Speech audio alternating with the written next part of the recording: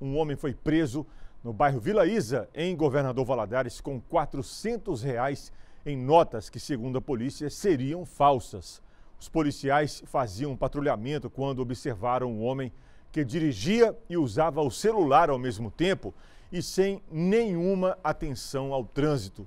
Ele foi parado e os policiais viram no carro as notas, sendo três de 100 reais e cinco de 20 reais. Ele foi levado para a delegacia da Polícia Federal, onde será feita a perícia nas cédulas.